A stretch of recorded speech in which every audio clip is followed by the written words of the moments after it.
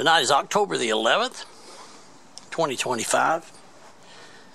And there's a lot of videos out there about people using their tiny SAs, their little tiny spectrum analyzers. I got one.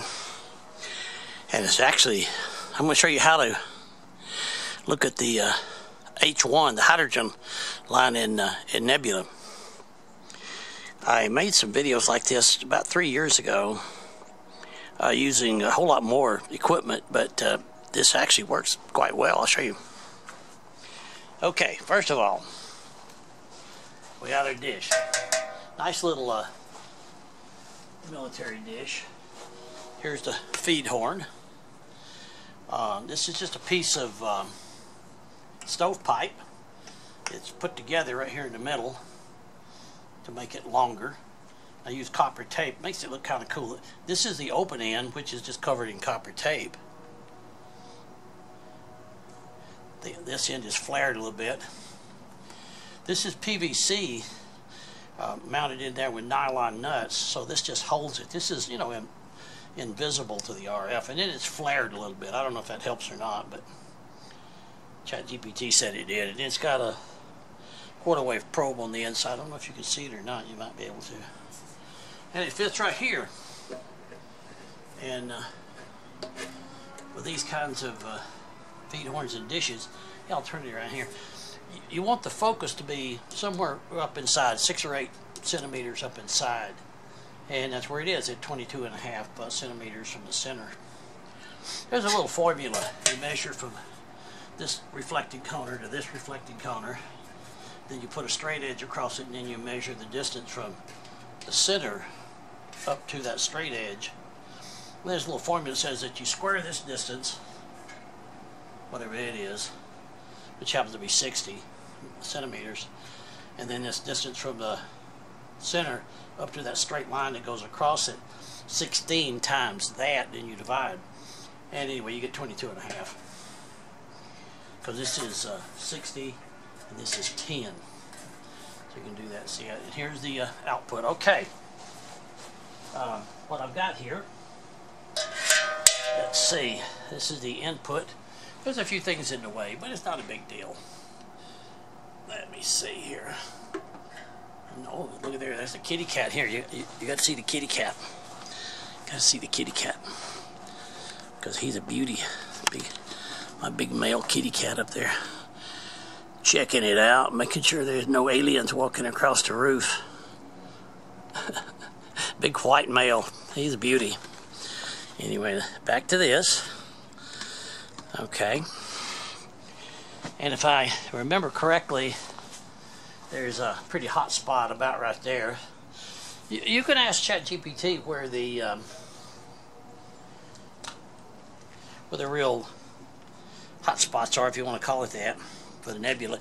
This is my power supply for D-size batteries. Got a little resistor in there to drop it down to 5 volts at the proper load.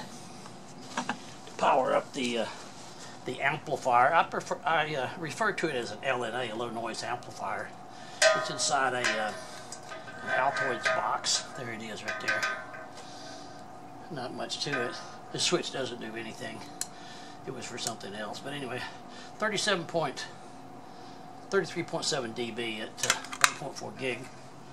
And then we hook it up right here. Let's see, we gotta, gotta look at this thing, see which way is input. And here it is. I hope I can show this to you. I've already configured this so it's, it's scanning the right right portion of the band. At least I hope I did I think you can see that. Maybe. Well, I don't see it. Do you see it? Maybe I don't have it pointed right. Five. No, that looks that looks about right. Got to sit down here. I can't stand very long anymore.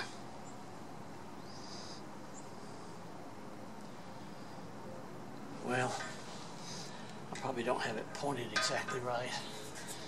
Let's see It seemed like it was just not terribly. Uh, let's see about that. Let's see. Whoops. Stay out of the front of it. That'll help. It's down the front of it. I know you probably can't see that. It's uh, it's scanning real slow. It, it's having to do a lot of measurements at each point because it has to pull the uh, that H1 line out of the noise floor. There it is. Now you can actually see it there. I don't have it exactly right right now, but that little point right there, see, an airplane going over. It's down, uh, let's see, the top line minus 30. Yeah, 40, 50, 60, 70, 80, 90, 100. Yeah, it's down pretty far. It should be down about minus 100 dB. I don't have it on it. There it is. It, it's there.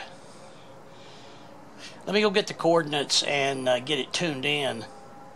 And, and, and it actually makes a, quite a nice pulse. I'll be right back. Got to go find out exactly where to point it. Well, the antenna grew a little bit. This is the bigger dish. I was trying, um, this is part of this experiment tonight is trying out the different two dishes. Uh, here, here's the other one over here. Um, the one that I was using is, I just put it right over here. That is such a pretty little dish. That's a military surplus one. I mean, built like a tank.